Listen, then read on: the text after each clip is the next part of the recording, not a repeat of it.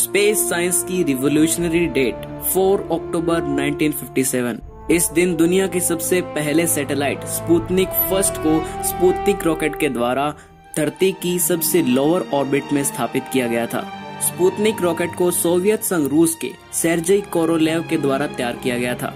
ये रॉकेट बिना crew member के ट्रांसमीटर ऑर्बिटल वेक्टर रॉकेट था, जो कि ट्रांसमीटर के द्वारा ऑपरेट होता था। स्पुतनिक रॉकेट ने धरती के 21 दिनों में 1440 चक्र पूरे किए।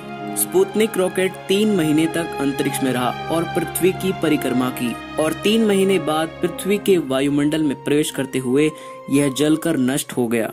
इस रॉकेट अभियान के बाद अंतरिक्ष विज्ञान में क्रांति सी ही आ गई थी। तो कैसा लगा आपको ये शॉकिंग फैक्ट जानकर? हमें कमेंट सेक्शन में ज़रूर बताएँ।